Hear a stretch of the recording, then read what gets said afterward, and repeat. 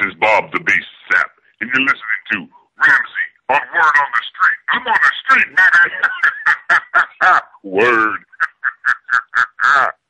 Welcome to the Word on the Street podcast. It is uh, May 31st, the year 2000 and chill. We are big, we are big fans of the man here. Um, good to have you guys here in a special Friday night edition. Uh, this is going to be a great, a great show in my opinion, just for the simple fact that we have a special guest on right now with us as I speak. It is none other than Mr. Bob Sapp himself. Bob, are, Bob, are you there? How are you feeling right now? Now, I'm feeling great, but you got to say it right. You got to say Bob the Beast Sapp. That's right. oh my god! I was totally hoping I would I would get a Bob Sapp uh, uh, laugh at laugh out of you at some point. Holy shit! This is awesome, man. I can't thank you enough. He is Bob the Beast Sapp. He is a professional mixed martial artist, a fighter. He's a, he's also an actor, professional wrestler. He's also played in the NFL itself. Um, uh, hopefully we'll get a chance to ask him about that. I'll just get right into it, but also on the call is Jake from the MMA podcast co-host. And How you doing, Jake? Very good, very good. Very simple. Just follow us on Twitter, the MMA Podcast. Bob, it's a pleasure to have you on and be speaking with you, man. Yeah, and it takes a lot. It, yeah, definitely. What's up? What's sorry, Bob? Sorry. You, oh, Bob's in Japan right now, Colin. Uh, what time is it over there, Bob? Right, Japan right now is 1:04 p.m. You know, I've got a couple of hours so I can get ready to board on the plane and uh, see if I can attempt to travel back to the United States, I've got to then go on to Turkey to shoot some more commercials and and do some more television shows down there. And uh, in the meanwhile, get ready for my next few MMA and kickboxing shows. Excellent. Also, it's hard to it's hard to drag this guy out of the shadows, but we have the co-host Ninja making his return on the Word on the Street podcast. Ninja, are you there still? I am. What's up, everybody? Not a damn thing, man. Now I'll get right to it, Mr. Bob Sapp. Uh, I did my research here. Um, it, I knew you were good, you were going to be on, so I of course just wanted to just to look everything up as far as Bob Sapp goes. That's available on the internet. Um, and I just figured out uh, a couple days ago that you know you are in the UFC, the last UFC video game. You're in the Pride mode. You are a character, a playable character and I didn't know that because you know I, I played the game, I've mastered it, but I was always playing UFC mode. This time I saw that you were in the game, so I of course played as you. I knocked the fuck out of Jon Jones with you, sir. It was it was awesome. It was a hell of a fight. I just wanted to ask you about that. Um, have you ever actually played the UFC video game as yourself? You know, I no, I've, I've, I've yet to play the video game by myself, and that's uh, you know, I am of course a big, big, big gamer fan unfortunately, with all the work that I'm doing on the road, it just it's really difficult for me to settle down and to even play the video games. Last video game that I was in the United States was uh, one by EA, and I think that was called MMA Legends or something like that, with uh, Randy Couture and Vitor, or, or, or I'm sorry, Fedor on, on the cover. Yeah. Um. For the for the, for the UFC game, uh, just wondering, did they just like uh just model your character like did you actually have to do like I know there's like a rendering process that they do for some people where they take pictures and 360 or did they just model your did you not even have to show up did they just go off of pictures and video Oh no, I think I went in there one day and I think they just did some of the basics with the modeling and the rendering, rendering. So and everything else they just they pretty much had already placed in the game. Yeah, computer computer effects are amazing, which is why uh, I was doing the yeah, I was watching. Um, speaking of, I was watching a movie that you've been in. You are an actor. The Longest Yard, Adam Sandler movie, uh, prison movie, football movie, all all combined into one. I was going to ask you about the scene. Um, it's probably one of the first scenes that they kind of show you in. You are lifting up an entire bleacher full of people, uh, prisoners on it in the prison camp. You're lifting it up, just power lifting that. Sh- it, it, how did they do that effect? If you, if you can reveal that little bit of magic. First time, of course, I can't lift up the bleachers with the people sitting on it, but the problem when I'm doing that is the seats and the nails when the seats are being nailed in and actually kind of, uh, I think, bounce out of there, you know, so like I'm pressing on the the wood part of the seats, and the nails would, would bounce up. So what they decided to do is they, they nailed those in there much, much tighter, and then put some braces on the back so that then it would remain more stable. And then they just simply had me lift it up. So that was exactly what I did, and it's worked out rather well. It was a straight up optical illusion using good old fashioned leverage, basically.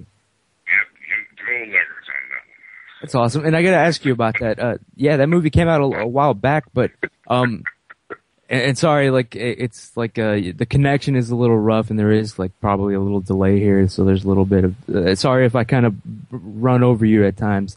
Just feel free to barrel over me right back, man. Um, the longest yard, uh, you did that. Another actor, he's my hero actually, Joey Diaz. Do you remember? Did you actually get to meet Joey Diaz on the set of The Longest Yard? Do you even remember who this person is? He's a comedian. Oh, oh yeah, Joey Diaz is great, man. You know, and, and Joey Diaz is, we went out to eat num- numerous times and hung out, and he was the one that said, Bob, when HBO Real Sports is going to put you on, I'm coming over to your room to watch it so I can clown you the whole time. So, and right then and when uh, HBO Real Sports was following me around with their documentary on, on how I was doing overseas and my popularity. And uh, Joey Diaz was right there in my room, and he was clowning and clowning, and he had, he just had a blast, and it was tremendous fun. It was, uh, yeah, I saw the movie again today. Good damn time. Joey Diaz, good comedian. Uh, I like his uh, Joey Karate videos. If anybody hasn't seen that shit on YouTube, you have to check it out. Uh, some of the best crap you'll ever see. Now, Bob, um, all right, I, I will, uh, here on the Word in the Street podcast, I'm kind of known for being a conspiracy theorist as far as MMA goes, but I actually just believe that I'm just telling it like it is. Um, you know, I, I think, you know, just from looking at it, uh, you know, I understand the reality of the MMA business. I understand that it is more entertainment than it is an actual ranked sport. That's what we talk about a lot here on this program. And that's also, why, of course, why I was interested in wanting to interview you. Because you are one of the few MMA fighters out there, uh, successful, who, who is willing to actually talk about the reality about the business.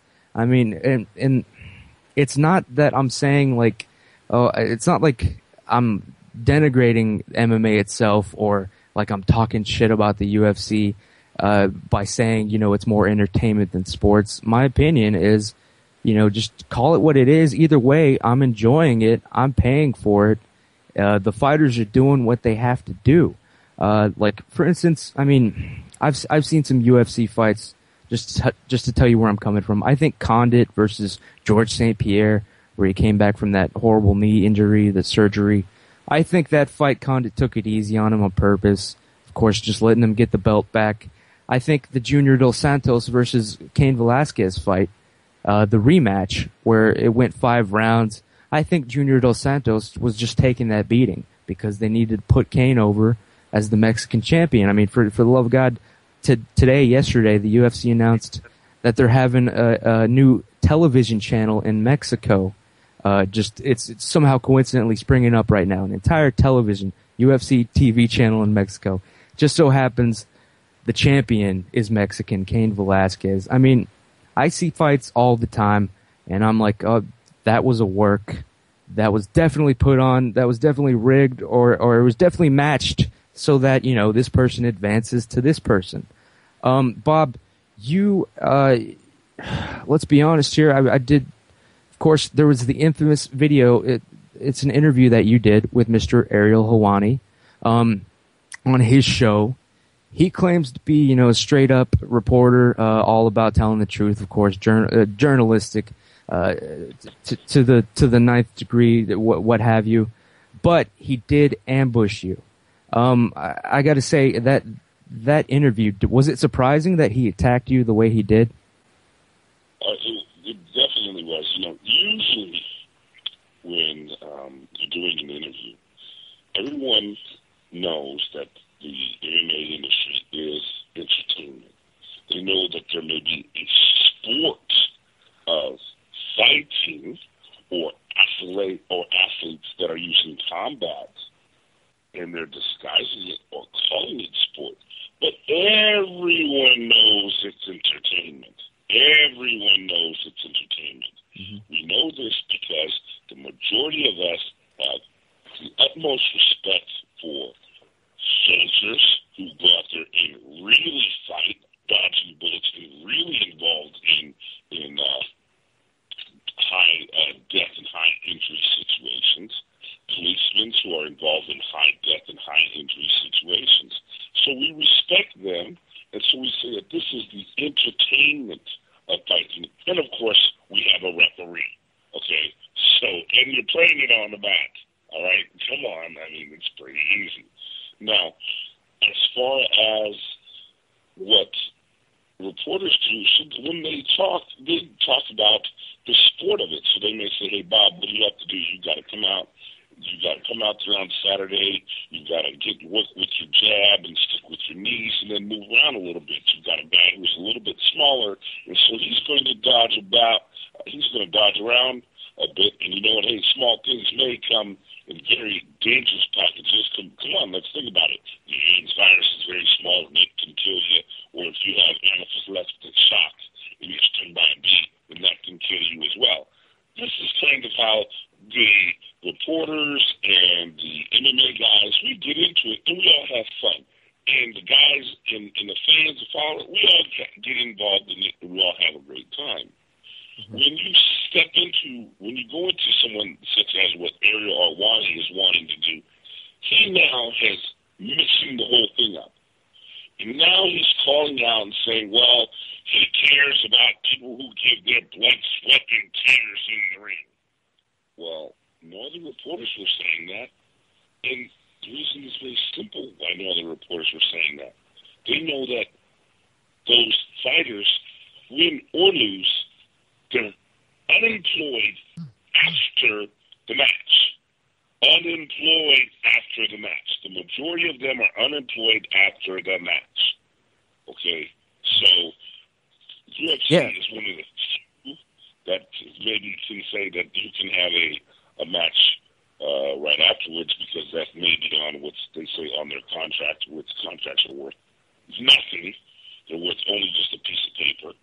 Uh, so, in other words, I go out and let's say I go out and fight Ninja. And me and Ninja, we're going to get in the ring and we're going to go at it. and Ninja and I, we go, we, we take it on. We do a straight up battle I mean, we're blasting each other hardcore. Bang, he, he gets the better. Boom, knocks me out.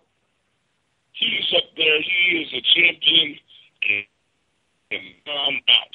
So, is it that the beast now will have no job, or will it be the ninja have no job? Guess what? Right then and there, nobody has any jobs, mm-hmm. and it's usually going to be it's usually going to be both, and I can explain to you why. Yeah, that's now.